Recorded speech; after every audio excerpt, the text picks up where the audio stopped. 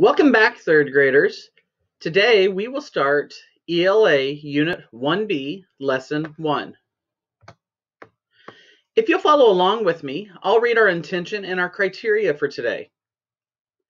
We are learning to identify main ideas using key details. We will be successful when we can identify how nonfiction is organized into sections, explain the details of a small portion of text, and use details to infer the main idea of the text. Now, if you remember our intention, understanding the main idea of a text, the main idea is the text of the of a text is mostly what the text is about and using the clues in the text to help us identify that. You will most commonly find the main idea within nonfiction text. If you think of main idea, it's kind of like a stool, like right here on the chart. The main idea is kind of like the seat where you'd put your bottom, and then the legs are kind of like the key details that help support the main idea, the stool where you sit at. One way to think about it are the clues. Number one, what is the text mostly about? So look for repeating words. Look at the titles and the headings. If it has pictures, look at the pictures. And sometimes you can identify the main idea of a text because it is easily stated in the first or the last sentence of the text or of a paragraph. And often you want to look for clue words that are used repeatedly, as I mentioned before. For instance, if I was reading about kangaroos, there might be the word kangaroo or words that relate to kangaroos in the text throughout. Let's give it a try. Here are three vocabulary words for this first section of our text today. A full moon. The lighted moon is totally visible in the sky. Sliver. A small, narrow piece or slice of something. And if you notice, they have a sliver, sliver of the moon. They also have a sliver of, that's right, cheese. New moon. The lighted half of the moon is facing completely away from the earth.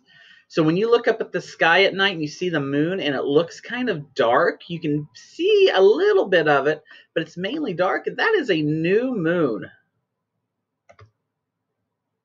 Our text today the Moon Seems to Change by Franklyn M. Branley, illustrated by Barbara and Ed Emberley.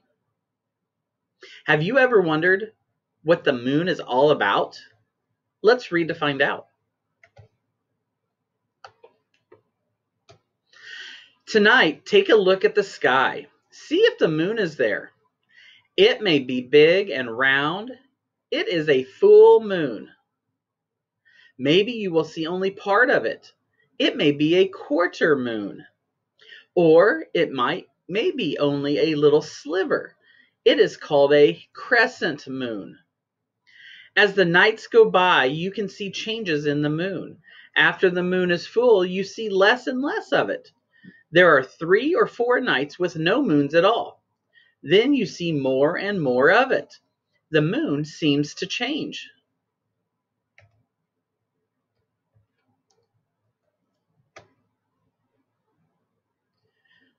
It really doesn't. It seems to change because the moon goes around the earth. As it goes around, we see more of it. The moon gets bigger. It is a waxing moon, or we see less of it. The moon gets smaller. It is called a waning moon. Half of the moon is always lighted by the sun. Half is lighted and half is always in darkness. It's the same with Earth. While one half of Earth is having sunshine and daylight, the other half is getting no sunshine. It is night. Let's pause there, friends. There's a lot of information on these two pages that helps you understand a little bit about the moon. Let's look at page 44. Look at this diagram right here. What kind of information does that tell you? That's right. I see that there's an, an arrow with dotted lines going around the earth. So that tells me the way the earth revolves and then rotates. And then it also has these bigger arrows, which kind of show me the way the moon goes around the earth, revolves around the earth. But did you notice that the arrows they're blue and then they get dark? I wonder what that can mean if I connect it to what the text was saying on 45. That's right. Sometimes half the moon is dark, half of it is light, similar to Earth. When it's daylight here on our half of the Earth, where we're at in Topeka, Kansas, the other half of the Earth is having nighttime or darkness. Look at the waxing moon and the waning moon. Remember, when a moon is waxing, it is getting bigger and looks bigger, but when it gets smaller, it looks like it's going further away, it's waning away. So what kind of shapes did you learn that the moon can be? It can be a full moon, a quarter moon, or a crescent moon, kind of like a sliver of moon. Nice job, third graders. Let's continue. A day on Earth is 24 hours long. A day on the moon is almost a month long. It takes the moon about four weeks to go around the earth. Let's pause there, friends. Again, there is, are, is a lot of information on these two pages. Let's observe these pages really quick and see what information it tells us.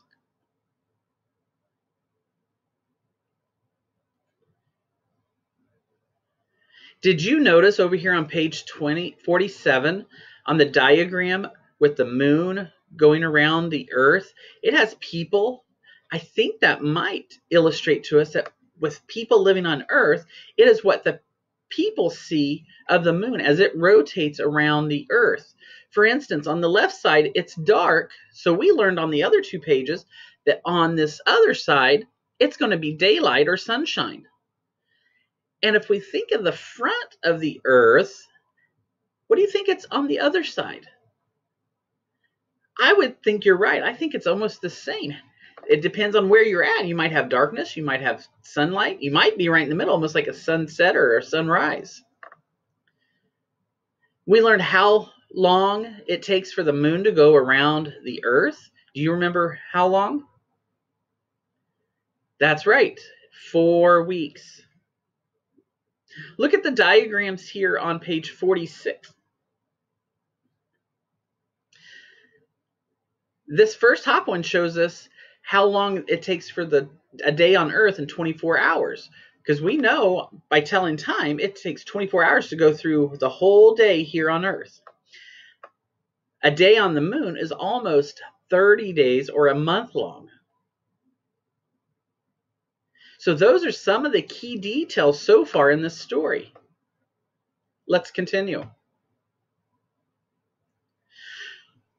So we've talked about some of the discussion questions that are leading to the main idea of this text. And kind of like that stool, we have talked about a few pieces that could be the legs of that stool to support the main idea. So I want you to start thinking about that as we move forward with your assignment today.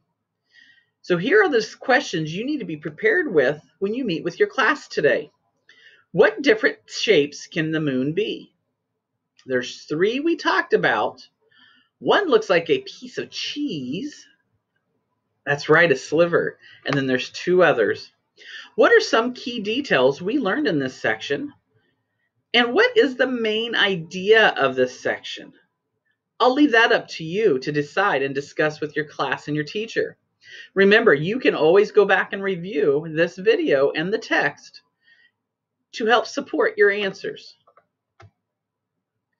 In your assignment today, third graders, it's all about the moon. You need to read these two paragraphs, this short little article, and then using the writing tool, write the main idea of the sentence below. Remember from our anchor chart to find the main idea, sometimes you look for repeated words, maybe look at the title of the passage or the article, maybe look at the first and last sentence, maybe look for words that are repeated. And then After you determine what the main idea is, use the highlighting tool right here to highlight at least two details that help support what you think the main idea of this passage is all about the moon. When you are complete, click that check mark so your teacher can view it and be ready to share at class time. Let's review our intention and our success criteria for today.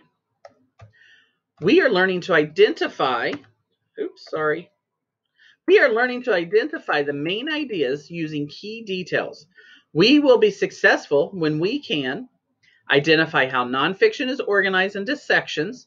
Did you notice that today's text, it had sections that started with the beginning. It kind of gave you an introduction to the shapes. And then it started talking about how the Earth and the Moon relate to each other and how they rotate around each other and how long it takes. Explain the details of a small portion of the text. You did that a little when we were talking about the different diagrams and using details to infer the main idea of a text. That's all for today, friends. Make sure to get your assignment done and don't forget to read for at least 20 minutes today for fun. Have a good day. See you tomorrow.